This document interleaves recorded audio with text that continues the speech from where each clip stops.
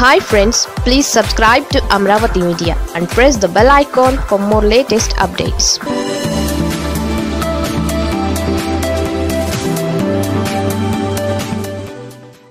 TDP వింత logic. జగన్కు YS ఫ్యామిలీకి సంబంధం లేదా?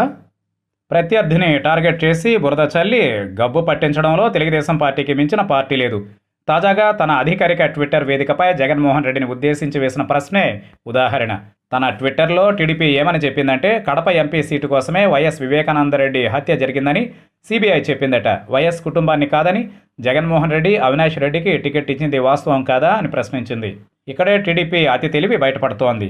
వైఎస్ కుటుంబాన్ని కాదని అవినాష్ రెడ్డికి జగన్ రెడ్డి సీట్ ఇచ్చింది వాస్తవం కాదా అంటే మరి జగన్ ఎక్కడి నుంచి వచ్చారు? వైఎస్ కుటుంబం కాదా? అసలు వైఎస్ కుటుంబం అంటేనే ఇప్పుడు జగనే కదా.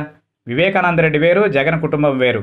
వైసీపీ పార్టీ పెట్టిందే జగన్. అంటే పార్టీ జగన్ సొంతమే. తన పార్టీలో ఎవరికి టికెట్ ఇవ్వాలని అనుకుంటే వాళ్ళకి జగన్ ఇస్తారు.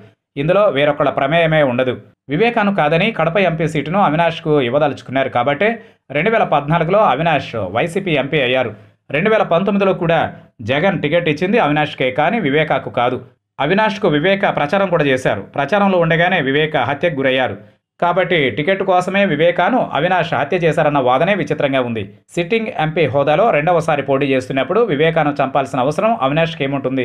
వైఎస్ఆర్ చనిపోయిన దగ్గర నుండి జగన్కు వెన్నుదన్నుగా నిలిచింది అవినాషే కానీ వివేక కాదు. పులివెందల ఉప ఎన్నికల్లో విజయమ్మకు పోటీగా కాంగ్రెస్ తరఫున పోటీ చేసింది వివేకానే అన్న విషయం అందరికీ తెలుసు. రెండు వేల పద్నాలుగులో కాంగ్రెస్ పార్టీ ఓడిపోయేంత వరకు వైఎస్ కుటుంబానికి వివేక దూరంగానే ఉన్నారు. కాబట్టి ఏ కోణంలో చూసినా ఎంపీ టికెట్ కోసమే వివేకాను అవినాష్ హత్య చేశారని సిబిఐ టీడీపీ ఎల్లో మీడియా చెప్పిన దాంట్లో లాజికే కనిపించడం లేదు.